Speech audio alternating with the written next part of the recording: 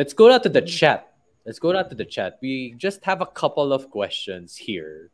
Merong nakakatawang ano lang, may pinadala kasi sa akin dito yung friend ko. Uh, EJ. Sure. Uh, ano, ano lang, fa- funny lang. fa- funny lang tong kwento na to. Sabi na, paano mo daw matatalo si Duplantis? so from Jerome.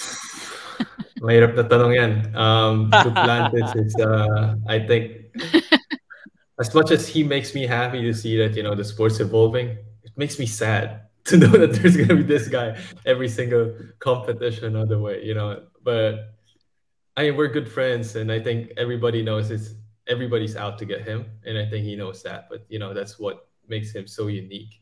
Um, you know, he's been he holds multiple age group records, and he's been vaulting. I we joke around, you know, pinanganak yan na may hawak na pole. Eh. So he's, uh, you know, if unicorn would be rare, he's uh, trihorn. You know, you know what I mean? Yeah. He's not just unique. Yeah. He's really, really is. But is he undefeated in every every case? No.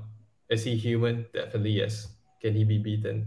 Yes, certainly so. So my job is just to keep working hard, keep jumping higher and bridge that gap and you know you'll never know. One of these days maybe we'll be going toe to toe and i'll end up on top.